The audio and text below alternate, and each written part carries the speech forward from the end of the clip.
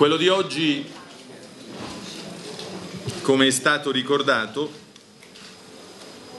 è il passaggio delle consegne. Il passaggio delle consegne ha conosciuto anche nella storia istituzionale degli enti locali della Regione una precisa sacralizzazione. In passato, quando non c'era l'elezione diretta, il passaggio delle consegne trovava addirittura una formula anche di massima celebrazione davanti ad una espressione dello Stato che raccoglieva il giuramento ed era il momento in cui si sacralizzava il passaggio e con il passaggio delle consegne si rendeva anche diciamo noto l'arrivo del nuovo responsabile, cioè del nuovo presidente. Il passaggio di consegne evoca uno dei momenti fondativi della futura attività amministrativa, il passaggio delle, il passaggio delle conoscenze, il passaggio delle consapevolezze, il passaggio anche delle principali iniziative in corso e in corsa. Per questo tipo di attività noi siamo al lavoro in maniera tale che non si debba ricominciare da zero, stiamo producendo una fotografia di tutte le attività in corso, sia quelle che meriteranno ulteriore spingimento, sia quelle che meriteranno una vera e propria adozione, oppure quelle, le iniziative che magari verranno lasciate poiché non condivise.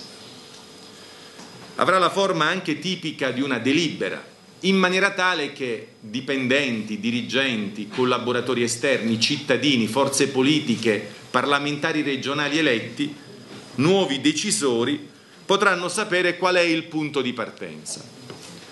Su questo piano una tradizione non c'è stata, noi la impianteremo, cioè di un passaggio di consegne che abbia il peso del tema, la quantità e la qualità del non disperdere nulla che è stato portato avanti fino ad oggi. Io sono convinto di un fatto, che l'Abruzzo ha due regioni. C'è una regione che è l'ente regione, per il quale ci sono contratti di lavoro in corso, ci sono elezioni che stabiliscono chi sta alla guida e poi c'è una regione invece dell'economia, delle imprese, delle famiglie, dei giovani, delle associazioni. Io ritengo che la legittimazione dell'ente regione derivi di quanto l'ente regione si accorga del significato e del valore della vita regionale. Noi introdurremo anche delle innovazioni sul piano procedimentale.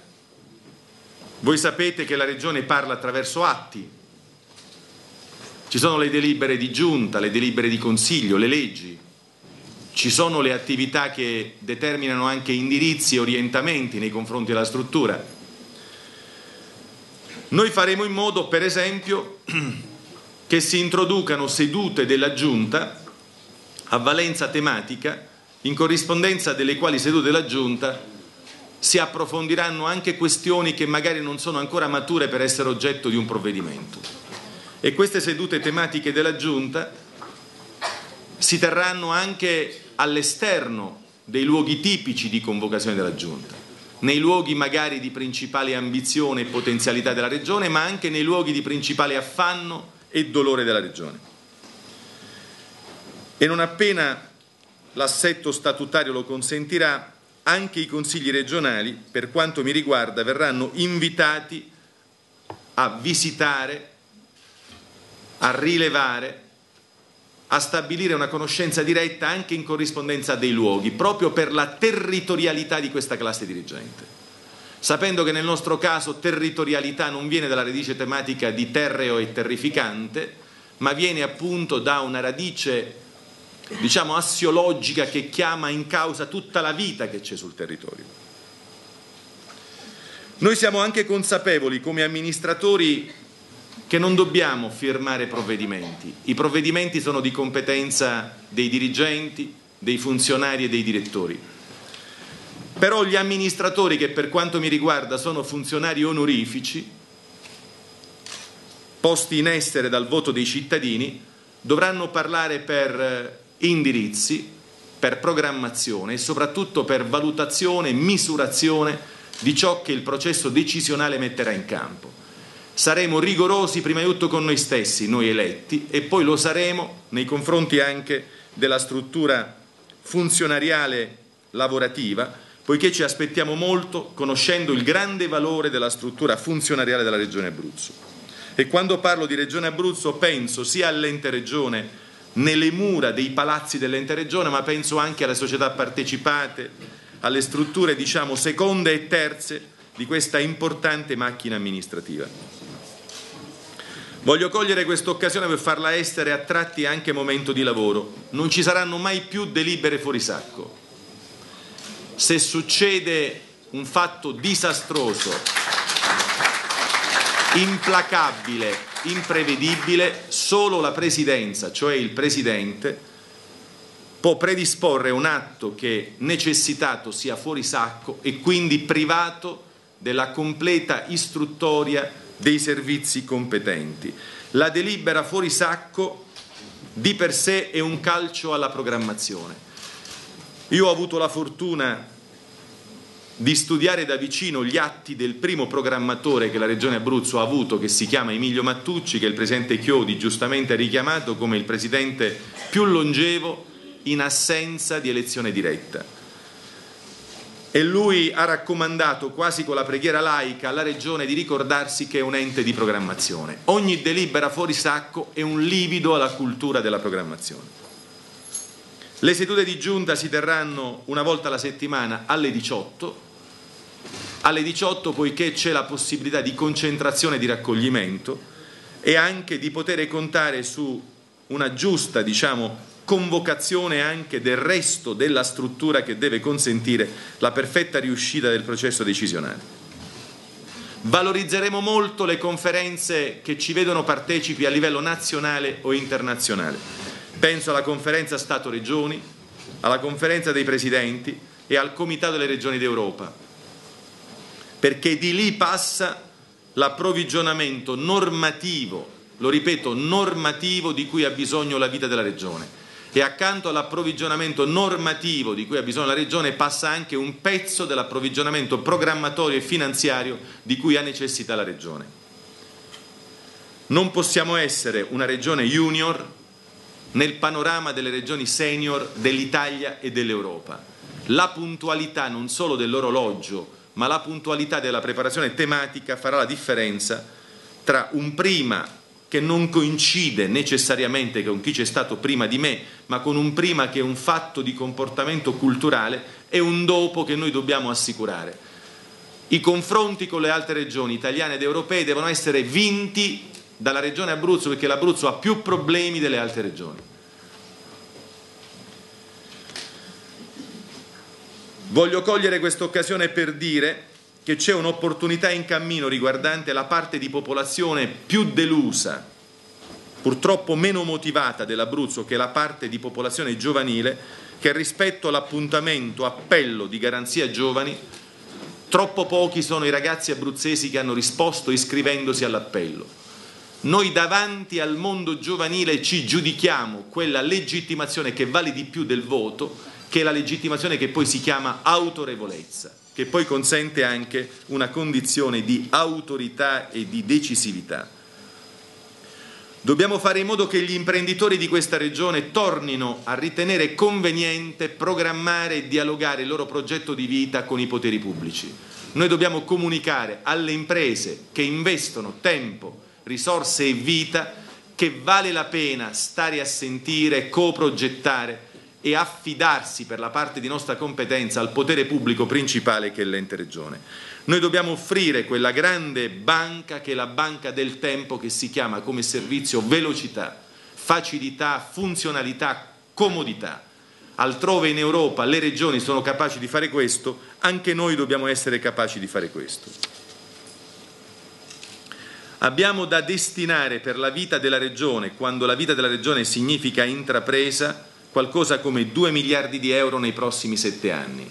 Non sono interessato a fare i compiti a casa fuori tempo massimo, mettendo insieme soltanto cumuli di carte che magari passano a un vaglio soltanto formale dei controllori solo formali che ci sono nelle filiere istituzionali. Noi dobbiamo fare in modo che le risorse finanziarie vadano ad incoraggiare la vita reale delle imprese, carne e sangue della vita reale delle imprese. Per cui facciamo i bandi per tempo, stabiliamo le regole per tempo, stabiliamo bandi e regole per consentire informazione e qualità di progetti di vita delle imprese.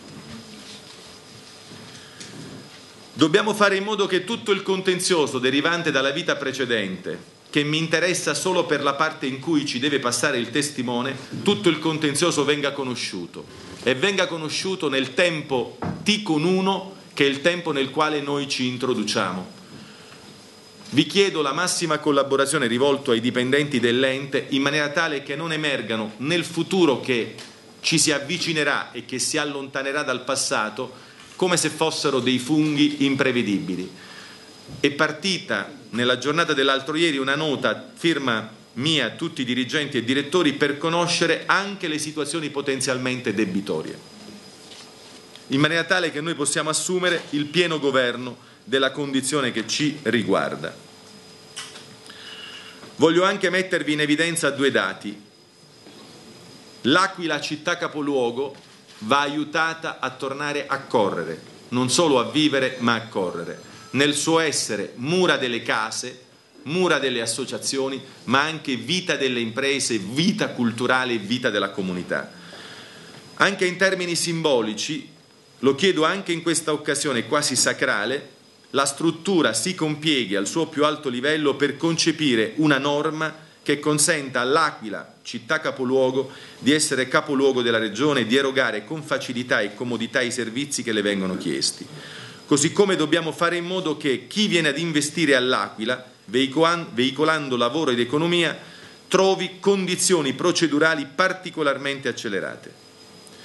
Dobbiamo fare in modo anche che in Abruzzo finalmente diventi una certezza la digitalizzazione la digitalizzazione intesa come dematerializzazione di tutto il processo amministrativo e decisionale.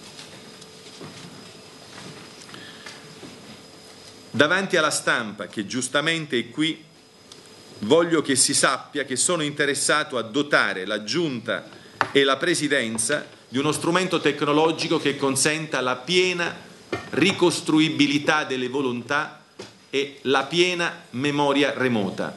Quello che voi chiamate webcam, io voglio che diventi un elemento di arricchimento tecnologico per consentire alla cittadinanza, ma non solo alla cittadinanza, di seguire ciò che si concepisce, ciò che si fa sia in giunta che in presidenza, avendo come limite per quanto riguarda la giunta il fatto che è un organo che a volte ha bisogno anche della riservatezza ma esclusi i momenti nei quali c'è bisogno di riservatezza, tutto ciò che costituisce approfondimento tematico e confronto e momenti di lavoro che si tengono nella sala giunta, così come nella presidenza, io voglio che dall'inizio alla fine conoscano una puntualità di eh, seguibilità da parte dell'utenza. Così come rendo certo che è mia volontà che si istituisca e utilizzo questo momento per dirlo alla struttura nel momento anche di massima presentazione alla pubblica opinione, che si stabilisca l'anagrafe patrimoniale degli eletti, per cui disponete una nota per chiedere che si sappia di che cosa è costituito il patrimonio degli eletti e la consistenza anche economico-finanziaria diffusamente intesa. Mi impegnerò ad elaborare a stretto giro di posta una nota con la quale ciascuno di sicuro della maggioranza, obbligatoriamente di chi governa, renda noti coloro i quali sono i portatori di interessi conosciuti e frequentati dagli amministratori.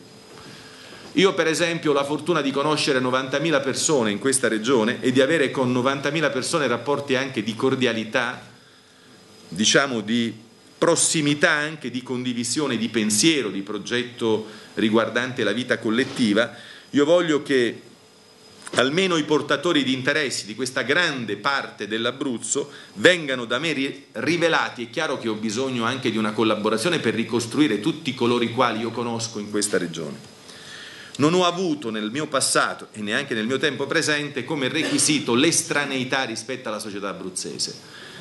Ho sempre diciamo, avuto in grande simpatia e considerazione la collettività, non mi sono mai iscritto tra coloro i quali facendo politica hanno coltivato o la lontananza o l'odio nei confronti della cittadinanza. Concludo con una riflessione diciamo, di carattere quasi storicistico. Io nel mentre assumo questa funzione che il Presidente Emerito Chiodi ha voluto giustamente concorrere alla buona riuscita, sento tutto il peso di questa responsabilità. Primo perché so che la terra d'Abruzzo ha dato sepoltura a dei giganti, se penso al 600, al 700, all'800 abruzzese, giganti che hanno consentito addirittura delle punte di pensiero che hanno reso ricco non solo il paese Italia ma anche l'Europa. Penso alla sepoltura che ha avuto in terra d'Abruzzo la persona ma anche il pensiero, l'elaborazione di un gigante come Melchiorre Delfico di Teramo, che ha saputo pensare per primo al mondo il valore delle zone franche fiscali o il valore dell'alfabetizzazione culturale attraverso le biblioteche.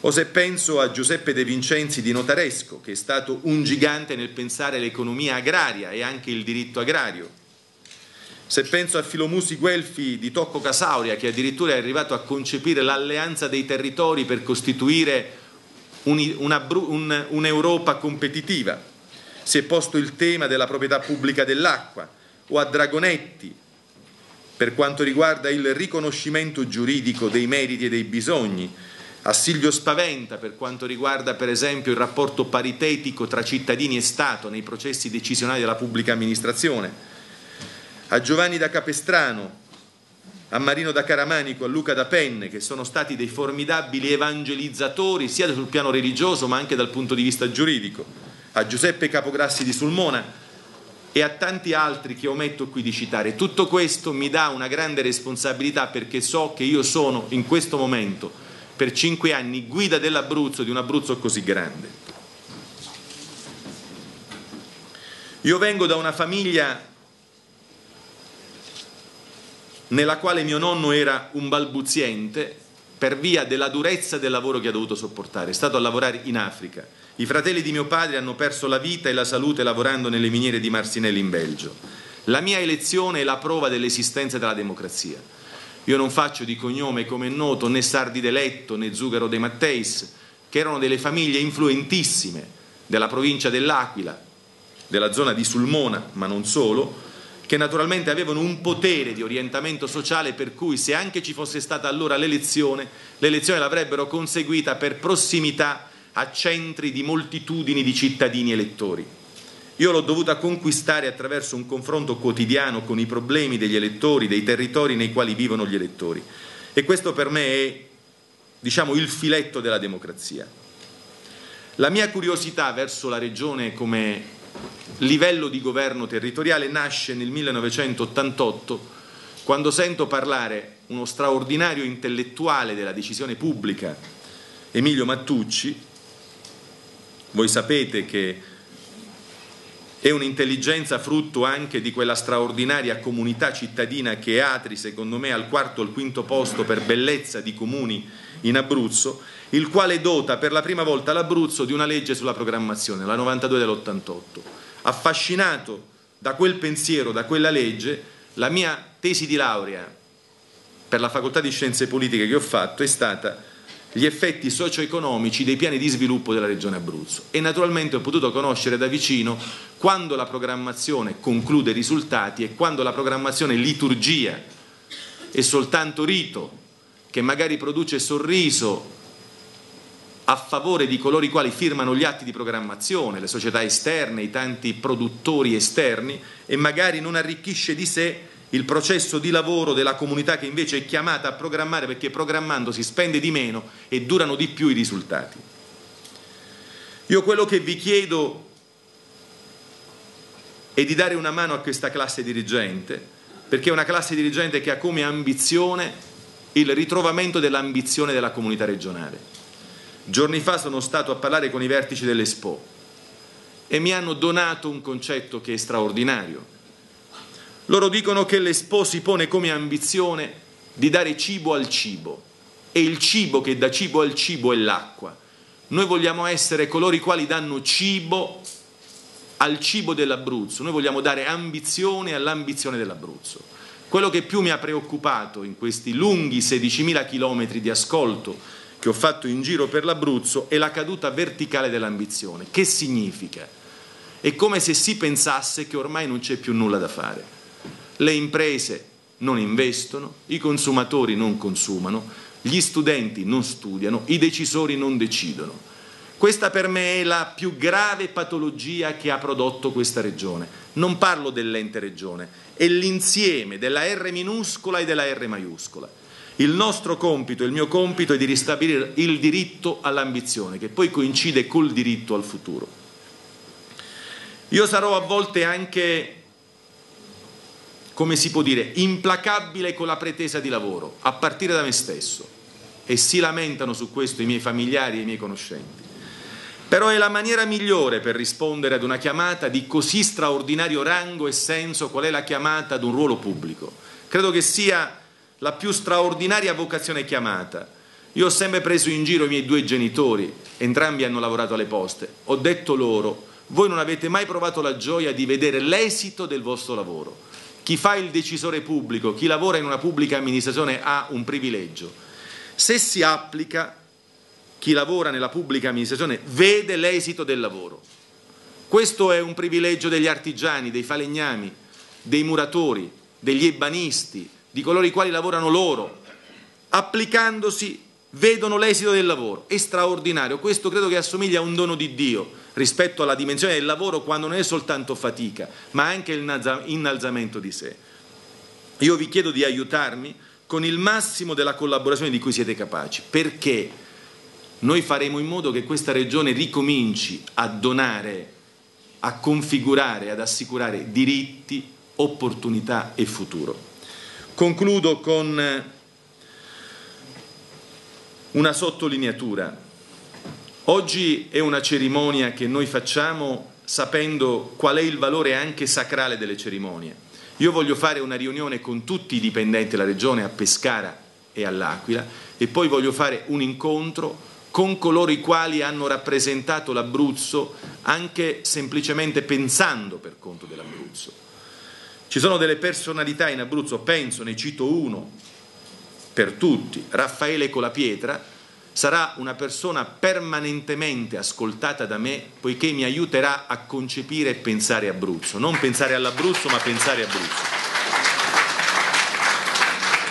Accanto a Colapietra chiederò consiglio a persone tipo Edoardo Tiboni, Bruno Sulli, Egidio Marinaro, Don Gabriele Orsini, Emiliano Giancristoforo, Enrico Graziani, Francesco Sanvitale, Luca De Meo, che è un giovane abruzzese che ha fatto successo dovunque nel mondo e che ha un grande rapporto con l'Abruzzo, adesso è l'amministratore delegato di Audimondo, Roberto Marinucci, Pierluigi Sacco, Nico Romito, i tre rettori, insomma tutti coloro i quali hanno a cuore questa regione e non hanno cessato di pensare a favore dell'Abruzzo.